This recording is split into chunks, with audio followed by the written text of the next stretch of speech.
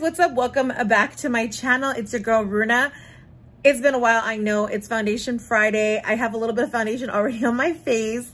Um, I just wanted to come in here and start filming these videos. I am in the process of redoing my room, so you're to see a lot of lights in the background. Hopefully, I will be able to be a lot more professional and more YouTuber-ish and have a better background. But anyways, today I want to talk to you guys about the Laura Mercier foundation. This is the Tinted Moisturizer. It's a natural skin perfector. It's not even really considered a foundation. It's considered a tinted moisturizer. This is a I think this is $47 and it is from, this is $47, you guys, and it's the shade Tawny 4W1. I did get this in PR. I just want you guys to know I do get a lot of Laura Mercier PR, but always my opinions are always 100% my own. So I don't want you to feel like I'm lying to you. I never do, even though I don't know why I was justify myself, but we keep it real here. I don't care what people think about me. I keep it real. Your money matters to me, right? So anyways, um, I'm not a big tinted moisturizer fan, but I wanted to test it out because it is a new formula. It's an oil-free formula, which I'm here for. I don't like the price. It's $47. $47 is a lot for a foundation, in my opinion, especially if it's a tinted moisturizer. It's not even in the foundation range, but it's a tinted moisturizer and it has a cult following.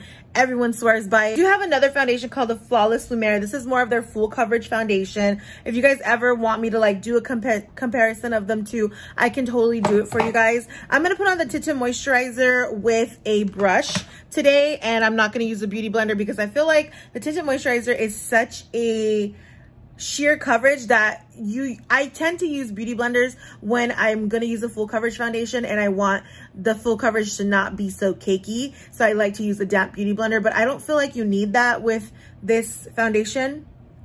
It's not even a foundation, tinted moisturizer.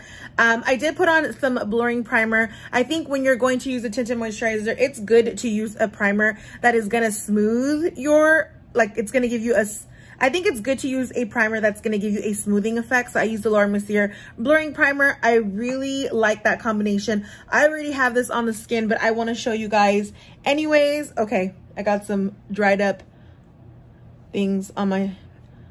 So I'm going to say compared to the original formula, and I will do a comparison for you guys. If you guys want that, let me know in the comment section. But compared to their original formula, this is a lot, a lot, a lot more, um, I feel thicker and creamier.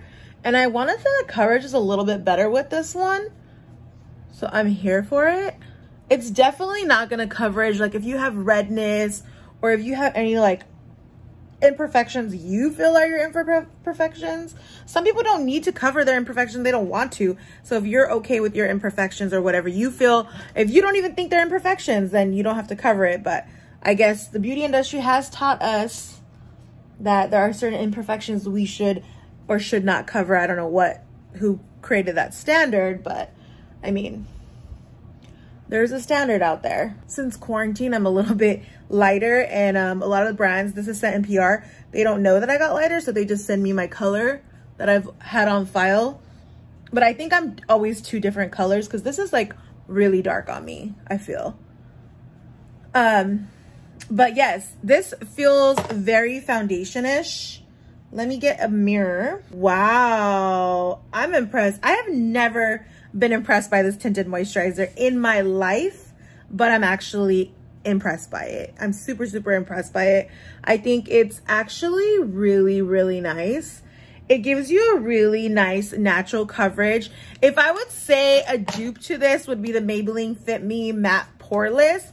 I would say that is a dupe to a $47 tinted moisturizer. They have the same coverage, the same vibe. I do feel like wearing a blurring primer underneath this does make a difference.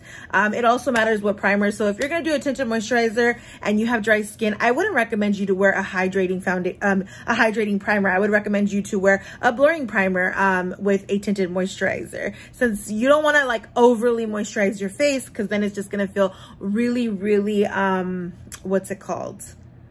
What's it called? It's gonna feel really, really oily. Impression, I'm gonna say I really like this. I'm gonna complete my whole face and then I'll be right back to give you like like my impressions on how product sits on it. So that's another thing with tinted moisturizers. Sometimes products do not sit well on tinted moisturizer. All right, guys. So I officially have on the tinted moisturizer. It has been about like an hour and I fully did like my full face. I did use a cream bronzer today and it did blend really, really well. I feel like I have a medium coverage foundation. Although this says it's light coverage and sheer coverage, I feel like it was medium coverage. It's definitely different than the original one. I feel like I always had a hard time with the original one because I felt like it was always really, really oily for me. So I was never, I would never gravitate towards that one. And I don't like anything when it's too oily, even though I have dry skin, but you know what I mean. Anyways, coverage is beautiful. It puts on product really nicely. It's a very everyday foundation, well, tinted moisturizer. It doesn't feel as moisturizing maybe because it's oil free, but I also put on a blurring primer, so that could be it. It does feel a little bit drier. Personally, I think if you're someone who's really into just light sheer coverage every day, then that tinted moisturizer is great for you. I'm gonna wear it for the whole day and see how it lasts on my face.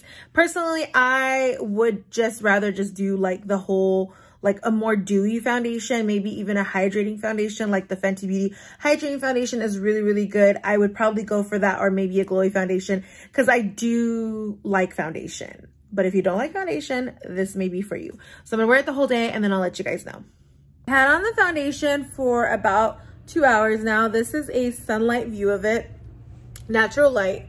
As you can tell, the coloring is pretty good. I think I really like this. I did not think I was gonna like it as much, but update, I think with this oil-free formula, you can actually just use a moisturizing primer, any primer you wanna use, um, because it's not as oily. With the original formula, I feel like I always had to use a more blurring, mattifying primer, but with this one, you could just use any primer, and um, now I can kind of understand. The only thing I will say, I don't like how it doesn't conceal these corners for me.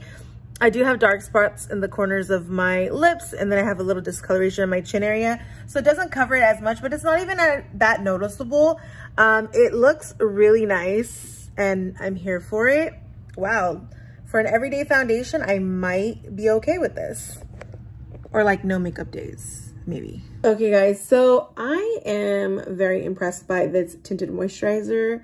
Guys, it looks really good. Look at how, let me do up close. Like, I can't believe this is a tinted moisturizer. It's very skin-like, but in a good way. It's flawless. I really like it. I am excited to just wash my face because I know I'm not going to have to do a ton of removal of stuff. Um, it's just going to be like a simple wipe it off.